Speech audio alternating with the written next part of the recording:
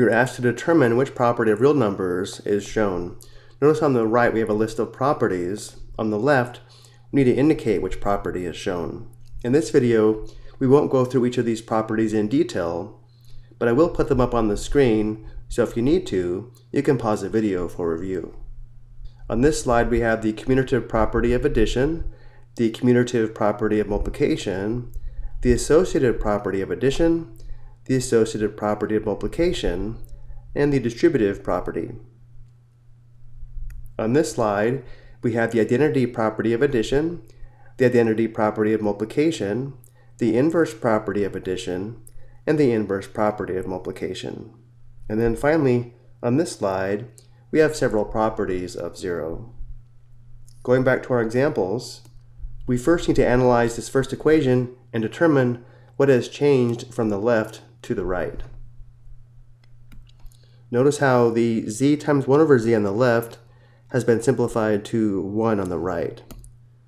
Let's focus on the property illustrated by z times 1 over z equals 1. Whenever we have a product equal to 1, we are using the multiplicative inverse property, and we can say that 1 over z is the multiplicative inverse of z. It's also true that z and 1 over z are reciprocals. This illustrates the multiplicative inverse property. Next we have 12 plus the quantity 0 plus 6 equals 12 plus 6.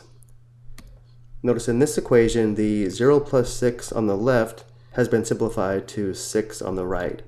We need to focus on the property shown by 0 plus 6 equals 6. Whenever we have a sum involving 0, we are using the identity property of addition, which is given here. Next we have 12 plus the quantity 0 times 7 equals 12 plus 0. Notice in this equation, the 0 times 7 on the left has been simplified to 0 on the right.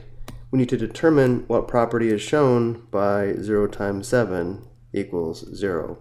Whenever we have a product involving 0, we know the product will always be 0, this is due to the multiplication property of 0, which is the last property given.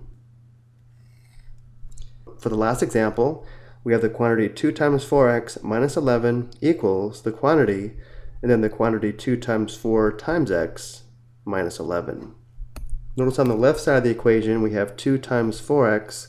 On the right, we have the quantity 2 times 4 times x.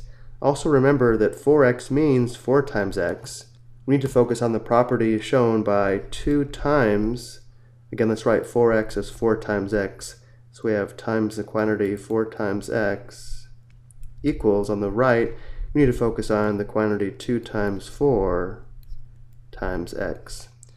Notice how we have a product where the factors in the parentheses or grouping symbols has changed. This is the associative property of multiplication, which is listed here.